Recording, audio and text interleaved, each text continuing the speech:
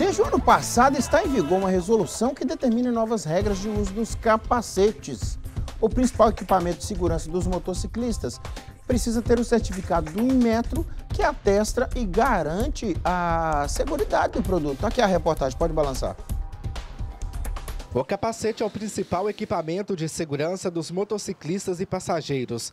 Mas para que ele seja realmente seguro, alguns detalhes precisam estar adequados de acordo com os padrões recomendados pelo Inmetro. No ano passado, uma resolução do CONTRAN, o Conselho Nacional de Trânsito, determinou que o capacete deve conter obrigatoriamente o selo do Inmetro que certifica, atesta e garante a segurança do produto. O seu Aracídio pilota há quase 40 anos e o equipamento de segurança dele está em ordem. Tudo, tá, com selo, com todos os, os adesivos, todo viseira, tudo certinho de acordo com o Inmetro. Apenas colocar um capacete na cabeça não garante a segurança. Por isso, o tamanho deve estar adequado, bem como o tipo, modelo e utilização.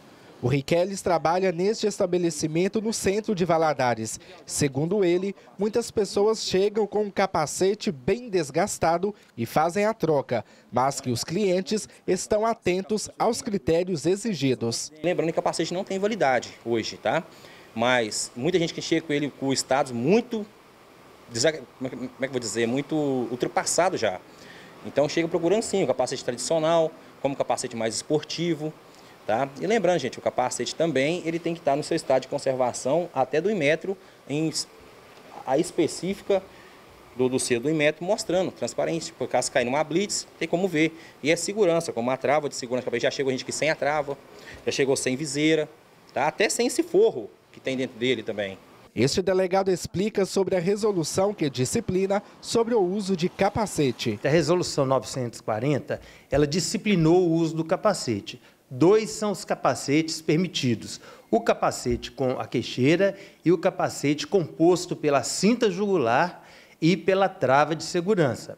Além disso, aquelas pessoas que optarem por um ou outro, não é necessariamente é o capacete com a queixeira, ele tem já vem acoplado com viseira. E aqueles que não vêm precisam obrigatoriamente de utilizar o óculos de proteção. E o que é esse óculos de proteção? Não é EPI, não é óculos de grau e nem óculos de sol. É aquele óculos que permite simultaneamente o uso do óculos de grau e do óculos de sol, do óculos esportivo. Caso o condutor que esteja utilizando o capacete que não se enquadre nos critérios estabelecidos e for flagrado, ele terá cinco pontos na carteira, multa e terá também o veículo retido, até que seja regularizada a situação. O delegado ainda frisa que 80% das infrações que envolvem motociclistas são por consequência do uso incorreto. Eu digo que 80% das infrações no que diz respeito a motociclistas é, são em decorrência do uso ou da falta do uso do capacete de segurança com as instruções que eu acabei de dizer. Viseira, óculos de proteção, cinta jugular, é, a trava da cinta ou o capacete com queixeira. Agora, é importante ressaltar que muitas pessoas espelham a viseira, espelham o óculos de proteção. Pode, pode, durante o dia. À noite, tanto a viseira quanto o óculos de proteção tem que ser cristalinos. O delegado ainda deixa orientações. É uma determinação que está na norma, é que o capacete, ao sofrer qualquer tipo de choque, de impacto, ele deve ser substituído. Uma viseira arranhada, uma viseira que é, deixa de, de, de trazer uma segurança ao condutor do veículo, ela deve ser, o capacete deve ser inutilizado ou, na medida do possível, se puder ser retificado, colocar uma nova viseira no capacete ou passar a utilizar tão somente o óculos de proteção.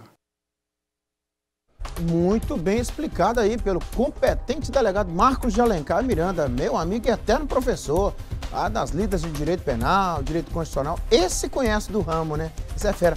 Parabéns à produção e coloca aplauso aí, Gabigol. pela pauta, viu, equipe? É sensacional. Pauta cidadã, isso é muito bom.